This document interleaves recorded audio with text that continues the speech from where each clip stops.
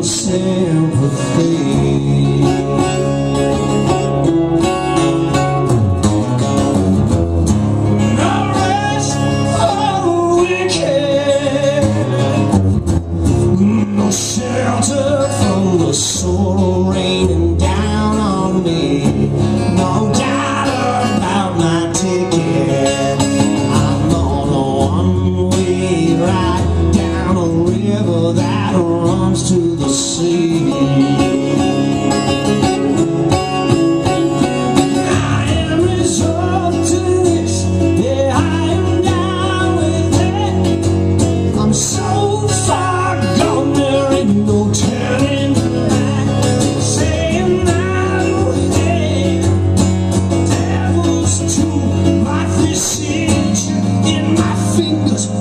Takes exception to the rule.